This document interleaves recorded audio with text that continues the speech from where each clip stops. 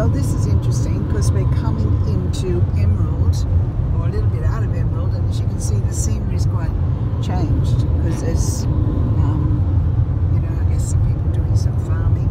That sign hasn't changed.